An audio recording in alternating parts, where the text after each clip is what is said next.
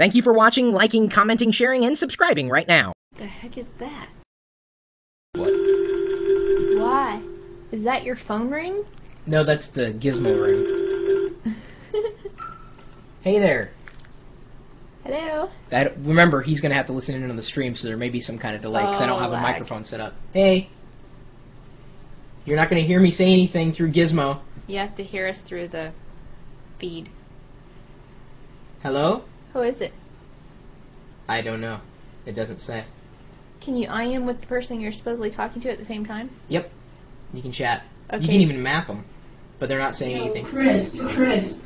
Hey. Boy, Who is it? the audio quality isn't that great. It's not near as well as Skype. Who are we talking with? Yeah, I can hear your mic through uh through the uh, gizmo thing. This is Tech Handyman. Tech Handyman. Yeah, what's up? All right, so the question came in from the chat room last night. What is a VoIP phone? So we just demonstrated, I guess, an example of a software VoIP phone. VoIP stands for Voice over IP, and essentially it's a way to have voice communications using the internet. The internet, the way it works, everything connects using uh, the uh, well, internet protocol, voice over IP. Um, there's uh, IP addresses, and instead of uh, you know each machine that, or each thing that's connected to the network has an IP address, and so using voice communications, voice over IP, essentially is saying using the internet to communicate uh, in talking. So what we just did there was demonstrate the uh, Gizmo project, which is available. It's software that's available on for Windows, Linux, Mac, and you can with it you can talk to people using your computer. And it also has the ability of dialing out to regular phone lines. Of course, there are charges associated with that. Skype is another example of a uh, piece of software, and in some cases, devices, actual physical devices that you can use to communicate over the internet. Vonage uses voice over IP. So when, but the nice thing about Vonage is that it's very user friendly. You don't need to know internet anything usually. That's not always the case. But Vonage just makes it so brain dead simple so you don't have to worry about a lot of the details. You don't think about using software when you pick up the phone. Except for when you set it all up. When you set it all up, you do have to think about it because you have to transfer 911 calls and things like that that you do take, you know, for granted that automatically comes with the phone line. You do have to change the way you do things.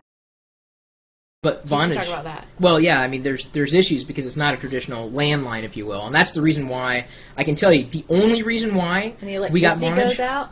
That's the other thing that people don't want to get. Um, if your internet connection goes out, then your phone goes out. You know, if the electricity goes out, you don't have a phone line. So in case of emergency, there is that. There's like you know two instances in why you'd really want to still keep your old phone line. So that's one. But see, we don't even we have don't have a we don't have a, a regular phone line though. I would like to get one. Cost wise, it may not be That's- worth it. And see, Chris is totally against it. Chris is like, no, we don't need another phone number. I don't. Well, I don't want to. No, I just don't want to pay the the phone If the cell phone anymore. dies and the electricity goes out, then we're kind of stuck. And so, in an emergency situ- situation, I do kind of feel naked, if you will, that we don't have a regular phone line. But I don't want to pay the phone company. They overcharge you no matter what you do. They'll sneak in charges, and that's the one thing I will give Vonage. But I it's will, peace of I will mind hand them over. You know what? I would pay Vonage. I mean, I hate, almost hate saying this. I'd pay them twice as much because of the fact that they don't overcharge me. Yeah. And the phone company. I'm telling you, every single phone company on the planet is out to screw you. The cell wireless phone, wireless phone companies, every one of them is out to screw you. I hate, every oh, by the way, I hated AT and T when we went to Cingular. When we went to Verizon, then we went to Cingular. Now Cingular's freaking AT and T. Right? Are I they overcharging us? I haven't Are you watching? Looked at it. I haven't looked at it. You gotta watch But that stuff. You have to watch that stuff, suit. people. Did you realize that AT and T they sent me all this paperwork where there was a class action suit, and because I was with them during this time, blah blah blah blah blah.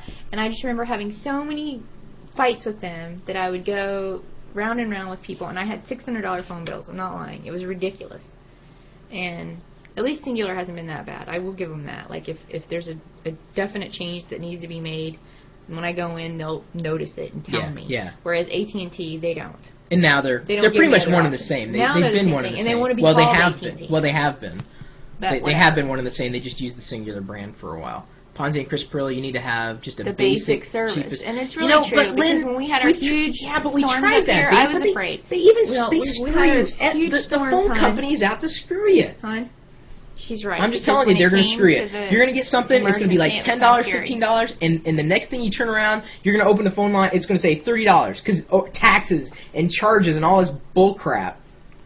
Prepaid cell phones. Well, the thing is, she's talking. She doesn't want a cell phone because you got to charge it. Basic phone service, but wife Calls China Calls all the time. China all the time Skype out. Skype That's out. see, that's smart. See that again? Skype out is a, is a VoIP technology. Get, you got to have an internet connection. You can't right now. You need some kind of connection. That's the only reason why the wireless carriers and the phone companies still exist. You need some kind of infrastructure in order to get out. If if someone could push us off the grid, this is what I'm really hoping for. Google that Google will do. If Google either a acquires a telecommunications company or starts their own, game over.